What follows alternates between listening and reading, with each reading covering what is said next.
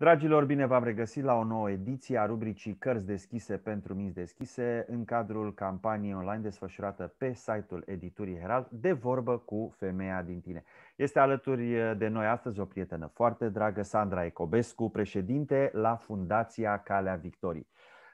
Vorbim astăzi despre, în cadrul acestei campanii, vorbim despre principiul masculin, despre principiul feminin, pornind de la o prezentare, o recomandare de carte pe care o facem cu mult drag, Viața ca extaz, natura, bărbatul, femeia de Ellen Watts, iarăși un autor foarte drag nouă, o carte publicată, am putea spune, în seria de uh, autor uh, Ellen Watts, unde au fost publicate cel puțin 10 titluri din opera Marelui Gânditor, uh, la editura Herald, așadar uh, Viața ca extaz, natura, bărbatul, femeia. O carte de altfel uh, provocatoare și am putea spune mereu actuală, așa cum de altfel este și uh, Ellen Watts ca gânditor, mereu în, uh, în actualitate, în contemporanitate o carte care reexaminează locul ocupat de umanitate în lumea naturală și relația dintre spirit și trup în lumina daoismului uh, chinezesc. Uh, Sandra, uh, un autor pe care știu că îl iubești, un autor foarte drag și mie și pentru stilul lui de viață și pentru faptul că am părtășit atât în uh, opera sa cât și în uh, viața sa cotidiană, uh, preceptele, am putea spune, budismului, faptul că este non-conformist și poate că acest lucru mi-a plăcut cel mai mult la el. Nu există rigiditatea aceea dogmatică pe care s-ar putea să o întâlnim la alți înțelepți, la alți gânditori și a trăit viața de altfel așa cum a și scris, așa cum a, cum a simțit. Era și un putem spune, un uh, mic uh, hedonist, da? Uh, a avut și multe soții, îi plăcea să-și petreacă timpul citind sau scriind la un pahar de vin, de altfel și gătea foarte mult, a avut și mulți copii. Așadar, din, din exterior, parcă vedem așa un soi de rețetă a unei vieți de familie împlinite, da? nu vorbim despre un ascet care s-a retras, dar în același timp ă, învățăturile sale, prin toate cărțile sale, Devino ceea ce ești, Înțelepciunea nesiguranței, ă, Duh și contemplație, Calea Zen, iată și aceasta ă, viața ca extaz, de fapt te îndeamnă, și sunt, tocmai de aceea sunt actuale, te îndeamnă la bucuria de a trăi, de a trăi clipa prezentă de a fi conștient de ceea ce trăiești. Așa este. Mulțumesc mult, Sorin, pentru invitație și um, fiind noi în luna martie, foarte bună ideea prietenilor de la Herald să, să povestim, să celebrăm feminitatea, dar bineînțeles, așa cum uh, frumos povesteai, uh, uh, în lumina acestei cărți foarte simpatice și foarte prietenoase, zice eu, dar și deștepte în același timp, și anume feminitatea în relație sau împreună cu masculinitatea. Deci ce alt prilej mai bun decât uh, această carte, Viața ca extaz, Natura, Bărbatul, Femeia, sau cum spunea domnul Watts în engleză, Nature, Man and Woman, carte scrisă, important să spunem, în 1958, publicată. Uh, da, e un autor, uh, mi se pare, esențial pentru toți cei care sunt interesați de, aș spune, ce caută în viața lor, Uh, de cum ar putea să fie mai împliniți uh, ca indivizi, cum ar putea fi mai împliniți în relația cu celălalt, că e vorba de un cuplu, de o căsătorie sau uh, relații în general. Și uh, mi, se pare esen, mi se pare esențial să, să citim și foarte de, de ajutor și o reală bucurie să ne întâlnim cu cărțile lui Watts, pentru că pentru, mult din, pentru mulți dintre noi spiritualitatea orientală Uh, este ceva interesant, este ceva de explorat. Poate unii dintre noi deja am început să, uh, să practicăm niște lucruri sau avem lecturi în zona asta sau tatonăm terenul, tocmai dintr-o nevoie pe care a identificat-o el uh, și analizat-o foarte bine și foarte echilibrat în contextul culturii occidentale și orientale, și anume nevoia de întreg. Da? Sau altfel zis, domnul Watts ce face magistral în cărțile lui și în mod special în această carte, cu un titlu extrem de atrăgător, aș zice eu, Viața ca extaz, titlul care m-a făcut să o cumpăr, alături de alte multe cărți ale lui. Și anume, el se uită un pic uh, și ne ia de mânuță așa foarte, um, ca un înțeleg blând, cum bine ai zis, și uh, cumva care fuge de dogmă și chiar dărâmă foarte multe clișee, ne ia frumos de mânuță și ne plimbă într-un mod foarte prietenos și foarte um, la îndemână, repet, dar și uh, erudit în același timp, ne plimbă prin istoria filozofiei și a ideilor Uh, din uh, Europa și din lumea occidentală și apoi împreună cu el pătrundem în, în zona asta orientală. Poate e interesant să spunem că și biografia lui e extrem de interesantă. El uh, a pendulat între zona spiritualității creștine și, aș spune, apoi s-a cufundat mai mult în zona asta spiritualității orientale um, și chiar acolo înglobând mai multe tradiții, cum bine ai spus, vorbim și de budism, și de taoism, și de zen. Deci el mereu a fost în, în căutarea întregului. Un întreg pe care cu siguranță îl căutăm și noi acum în secolul 21. Aș spune că omul curios, omul deschis din, din prima parte a secolului 21, dar care și are originile în, în perioada asta, anilor 60-70, să nu uităm perioada New Age cu deschidere, cu toate experimentele care se întâmplau, în perioada în care Ellen Watts era tânăr și scria, Așadar, suntem în această căutare a întregului. Și asta ne însemnând, important să spunem că uh, ne desprindem sau ne dezicem uh, unii dintre noi de tradiția creștină, extrem de valoroasă și extrem de bogată. Paranteză, domnul Watts foarte des uh, de citate din Sfântul Augustin și mulți alți autori creștini pe care i-a studiat cu atenție, dar totodată să vedem ce se întâmplă și în Orient. Și ce mi se pare uh, foarte interesant, chiar ieri reciteam uh,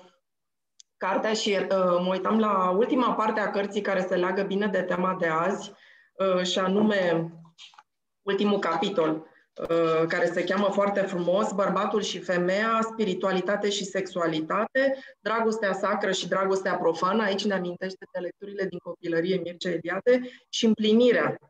dar, pentru că prima parte a cărții este omul și natura și partea a doua este bărbatul și femeia. Și uh, când citeam această a doua parte a cărții despre uh, legătura dintre spiritualitate și sexualitate, extrem de interesantă și extrem de ofertantă, aș zice, această privire uh, care înglobează tradiția orientală și în, în lumea noastră occidentală, am fost frapată de un lucru foarte interesant pe care azi am descoperit că și Watts îl spunea, și anume am descoperit nu doar un filozof, un înțelept, uh, un uh, om curios care scrie foarte bine, ci și un scriitor foarte talentat. Și azi mi s-a confirmat acest lucru. Domnul Alan Watts spunea despre această carte că este cea mai bună carte a lui din punct de vedere literar. Deci dacă unii dintre cei care ne urmăresc s-ar putea să sperie de ideea de filozofie sau de taoism, să zic că e ceva complicat, când mă bag eu în zona aia. Ne, uh, stilul lui de, de scris, uh, penelul lui Watts este seducător. Deci ajungem uh, în ultimele câteva 5-10 pagini ale cărții să, să intrăm într-o, aș spune, într-un text de o poezie extraordinară, unde el ajunge să analizeze, evident, nu doar prin prisma lecturilor și studiilor lui, ci și a vieții despre care ai spus, Uh, înțeleg că în perioada în care a scris cartea avea o relație cu o poetesă celebră. Uh, aș spune că face o apologie a iubirii și a sexualității în relație cu spiritualitatea și cu întregul. Dar mi-am notat foarte multe idei, cel mai bine ar fi să mă întreb tu, ca să nu fie un roman uh, fluviu aici. Știți ce mi se pare interesant la Ellen Watts? Faptul că vorbim uh, despre o schimbare de paradigmă și de gândire în uh, perioada celor ani, pentru că, după cum știm, el a fost crescut în uh, spiritul bisericii anglicane. De altfel, tatălui fiind pastor, el urmând cumva, urmând, mergând pe urmele pașilor tatălui său, Uh, trece oceanul, ajunge să predea în uh, Statele Unite, la Chicago, dacă nu mă înșel, uh, până la un moment dat în care se, să spunem că se dezice cumva, dacă nu mă înșel, la un moment dat a fost și excomunicat și atunci își schimbă cumva modul de a gândi și își îndreaptă atenția și efortul și mintea către zona orientală este un caz uh, Este un caz, aș spune, particular sau în orice caz sunt puține astfel de cazuri de gânditori care sunt crescuți într-un anumit spirit uh, al unor dogme, să spunem, uh, religioase și el ajunge să fie unul dintre cei mai importanți reprezentanți a ceea ce înseamnă uh, budismul uh, în, uh, în Europa și un soi de, aș spune eu, un soi de precursor, să spunem, al uh, mindfulness-ului. Uh, pentru că gândirea lui uh, se intersectează și se asimilează cumva cu ceea ce înseamnă mindfulness. Atenția conștientă, prezența conștientă, a lăsa trecutul în urmă, da? care nu te mai ajută, pentru că nu-l poți aduce în actualitate, trecutul a fost și gata, și a nu privi cu acea, parafrazez acum un alt titlu de-al lui, de a nu privi uh, cu înțelepciunea nesiguranței. De fapt, ar fi ideal să privești înspre viitor cu înțelepciunea nesiguranței, dar să nu privești cu neliniște și cu anxietate, ceea ce noi, din păcate, mulți dintre noi am făcut în ultimul uh, an. Uh, multă lume s-a plâns de anxietate, de neliniște, atacuri de panică, ce se va întâmpla din punct de vedere sanitar, din punct de vedere economic, financiar, joburi și multe, multe alte lucruri. Iar el cumva ne, ne ajută și ne deschide această cale de a vedea ce înseamnă de fapt să fii prezent în propria ta viață, să trăiești clipa prezent. Să nu trăiești nici în viitor, pentru că el n-a venit încă, să nu trăiești nici în trecut, pentru că el s-a dus, îl, îl privim din urmă. Da, el uh, dă un răspuns foarte bun la ceea ce spuneai tu acum, cum ne descurcăm noi, cum navigăm prin această perioadă plină de neliniști. Dar dacă ne uităm în trecut, perioade de neliniști și crize au existat totdeauna în istoria lumii, deci nu este noi primii, să zicem, loviți în ghilimele, cum uh, un antropolog simpatic care predă la noi la Fundație Radu Umbreș spunea, nu este chiar atât de rău cum am crede, dacă ne uităm la alte crize din, din secolul trecut, Uh, și atunci, da, într-adevăr, Ellen Watts uh, propune o soluție, a spune eu, către, foarte, către care foarte mulți oameni în prezent se uită, mă refer la lumea occidentală și chiar și la noi în țară, uh, tocmai această întoarcere, să spunem, către natură sau natural, pentru că vorbim despre cartea lui Natura Uh, bărbatul și femeia, cumva cheia fiind, uh, cum ai spus și tu, în, într-o stare de prezență, în acest mindfulness de care, despre care se vorbește foarte mult și chiar în a găsi uh, liniștea, echilibrul și acceptarea faptului că lucrurile sunt în continuă schimbare, că este vorba de o curgere constantă și că noi toți trăim într-un întreg. S-a tot vorbit despre lucrurile astea. Deci domnul Watts, cum ai spus, este foarte actual și este extrem de util să ne întoarcem la cărțile lui, să le citim, să le recitim, pentru că acolo este cheia înțelepciunii. Până la urmă, înțelepciunea constă pentru noi toți și cu siguranță că dacă vom întreba și un uh, bătrân înțelept de la țară, o să ne spună că trec toate lucrurile și să stăm liniștiți. Uh, nu în sensul de pasivitate, de acceptare, să spunem, uh, mazochistă a unor nenorociri, ci pur și simplu de detașare uh, de criză. Și, practic, modelul naturii este cel despre care el povestește în cartea lui și face această comparație foarte interesantă între ce se întâmplă în, în gândirea occidentală, în filozofie și ce se întâmplă în Orient. Foarte interesant, cumva, văzând această dihotomie sau această separare care nu ne ajută deloc și de care sperăm să ne scuturăm nu? în ultimele decenii și în viitor, ă, pe de o parte bărbatul, care înseamnă rațiune, înseamnă ordine, înseamnă divinitate, iar pe de altă parte femeia, care înseamnă natură, înseamnă poate haos, sexualitate, ceva periculos întunecat. În această lumină, timp de multe secole a fost privită separarea dintre bărbați și femeie și el, uh, practic, merge pe acest fir, să spunem, uh, filozofic și teologic pentru a, a ne ajuta să înțelegem mai bine anxietatea omului modern și postmodern până la urmă. Pentru că anxietatea, uh, vorbim și de perioada aceasta, neliniștea, tristețea și toate lucrurile care ne pot apăsa, vin tocmai din ideea de separare. Eu sunt aici, tu ești dincolo, dar iată, suntem pe Zoom și vorbim despre o carte și împreună cu noi pot fi zeci de oameni care să se bucure și uh, formăm un întreg și în felul ăsta descoperim lucruri împreună și ne susținem. Deci e foarte interesant. Știți, citeam cartea lui, reciteam ieri cartea lui Watts și mi-am de o imagine foarte simpatică pentru pe care antropologul Vintilă Mihailescu, un om extraordinar pe care am avut șansa să, să-l cunosc și să uh, fiu student al lui, uh, ne arăta o imagine foarte interesantă pe care ascultătorii o pot găsi pe net, um, despre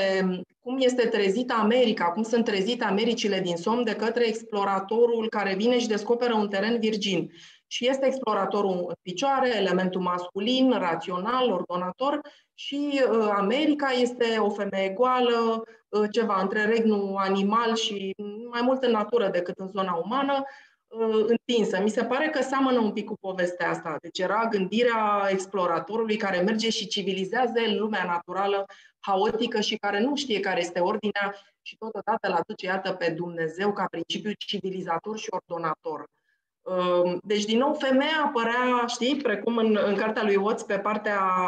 Uh, animalicului uh, dormind și imprevizibil și dubios. Uh, asta mi se pare foarte interesant, o idee esențială că deci masculinul este legat de conștiință, divinitate sau a fost timp de secole, iar femeia a fost asociată cu natura, cu sexualitatea și nu așa sexualitatea necontrolată care poate genera rușine sau ideea de păcat. Și uh, Ellen Watts vrea să facă dreptate cumva acestor concepte și să ajute omul modern și postmodern să Uh, se instaleze mai bine, să zicem, în intimitatea vieții lui și atunci el ne povestește despre cum se petrec lucrurile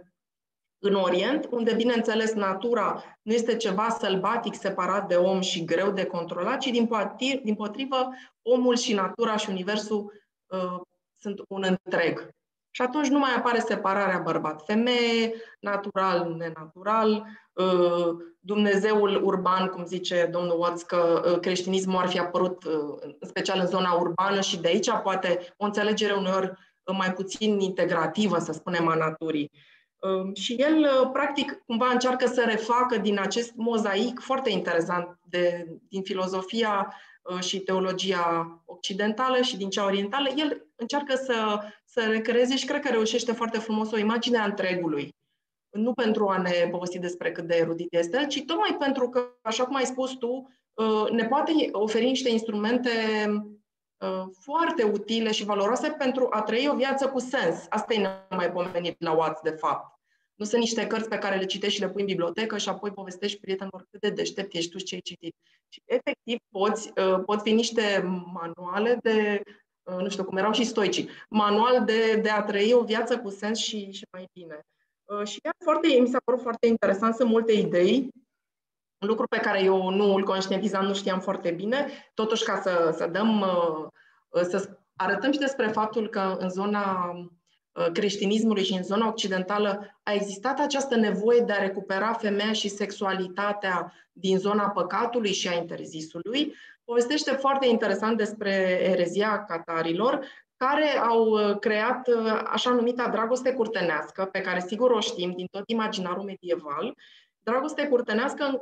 în care poveste și în cadrul căreia femeia uh, devine, iată, o zeiță, o imagine a divinității, foarte interesant, semănând cu ceea ce se întâmplă în Orient, da? Descrie el templele uh, hinduse pe care sunt tot felul de scene erotice și care inițial îi îngrozeau pe occidental, spuneau că este ceva păcătos. Uh, și cumva uh, această tradiție catară și povestea cu dragostea curtenească ne aduce la uh, dragostea ideală sau romantică de azi, ce vedem și în filmele de la Hollywood, ce visăm noi când suntem mici, să vină prințul pe cal alb și așa mai departe. Și asta mi se pare un subiect foarte simpatic, cum totuși în Occident lucrurile, oamenii au încercat să, să refacă acest întreg și să pună până la urmă femeia pe, pe un rol uh, nu de egalitate, dar um, pentru că suntem diferiți, evident, dar să fie împreună cu bărbatul pe um, astfel încât se poate oglindi și completa, nu uh, într-un raport de inferior-superior. Aș încheia uh, discuția noastră cu un citat din Ellen Watts, uh, reprezentativ pentru partea a doua a acestei cărți, Uh, în care vorbește despre bărbat, despre femeie, despre sexualitate. Când este spontan, spune Ellen Watts, apogeul dragostei sexuale reprezintă una dintre cele mai depline experiențe de relaționare cu celălalt la care noi putem să accedem, dar prejudecățile ne-au împiedicat să vedem că în orice alte circunstanțe o asemenea desfătare s-ar numi extaz mistic. Ceea ce îndrăgostiții simt unul pentru celălalt nu este altceva decât adorație în deplinătatea accepțiunii religioase a termenului. Iar apogeul acestui sentiment este aproape literalmente o revărsare a vieții dintr-unul în celălalt. O asemenea adorație care îi se cuvine doar lui Dumnezeu ar fi cu adevărat idolatră dacă în acel moment dragostea nu ar îndepărta orice iluzie arătând chipul iubitului sau al iubitei așa cum este el cu adevărat, nu persoana care pretinde să fie în societate, ci dezvăluindu-i natura divină. Iată cât de frumos vorbește despre uh, natura divină sau esența divină a principiului feminin și a principiului masculin, exact ce spuneai tu puțin mai devreme, uh, acea frumoasă uh, completare între cele două energii, între energia masculină și energia feminină. Așa este, ai punctat foarte bine ideea centrală la care el ajunge și toată povestea asta extrem de bine analizată și poetic redată. Omul clar a testat lucrurile astea și i-au ieșit. Vorbim de, de extazul uh, pe care un cuplu îl poate experimenta și de, uh, da, de zona mistică a relației sexuale despre care se vorbește destul de puțin în, în lumea occidentală sau um, cred că în ultimele decenii s-a vorbit mai mult, dar încă pentru mulți dintre noi pare a fi un tabu sau ceva înfricoșător. Exact. Ori el, de fapt, ne invită tocmai la această explorare, știa, a grădinii noastre interioare, grădine interioare care nu rămâne doar în interiorul nostru, ci care, de fapt, ne duce către cosmos, către unitate. Și știi, mi-aminteam acum, apropo de, de grădina plăcerilor a lui Bosch, citeam de dimineață, deci domnul Bosch, când a pictat celebra grădina plăcerilor, ce făcea? Și sunt uh, diverse păreri. Unii zic că este o critică la adresa lipsei de moralitate, alții chiar au zis că el a încercat să evoce, să facă un fel de uh, inventar al posibilor delicii sexuale. Deci mereu în lumea noastră în lumea creștină sau în, în imaginarul occidental a existat această dorință de integrare. Lucrurile au fost sub preșuleț, povestește și el, și chiar dacă am fost puritan, lucrurile astea totdeauna au existat, pentru că energia sexuală, iubirea, uh, întâlnirea dintre el și ea fac parte nu din, din poveștile legate de creația lumii. Deci nu putem, atâta vreme cât ne, ne renegăm această parte a noastră, sexualitatea, Uh, în forma și aceasta mistică și de împlinire și de, de depășire, de extaz, uh, pierdem un lucru esențial. Deci nu pot decât să invit pe ascultătorii noștri în aceste vremuri în care ne petrecem mult timp acasă să-și exploreze grădinile interioare. Mulțumim uh, foarte mult, Sandra. Dragii noștri, am vorbit astăzi despre Ellen Watts și despre cartea sa Viața ca extaz, natura, bărbatul, femeia, o carte uh, Uh, publicată în portofoliul editurii Herald în uh, seria de autor uh, Ellen Watts. A fost alături de noi și îi mulțumim cu recunoștință Sandra Ecobescu, președinte al Fundației Calea Victoriei. Vă mulțumim și dumneavoastră că ați fost alături de noi. Ne dăm întâlnire la o nouă ediție a rubricii Cărți deschise pentru minți deschise. Până atunci să aveți o zi minunată, o zi binecuvântată și lectură plăcută. La revedere, numai bine! La revedere!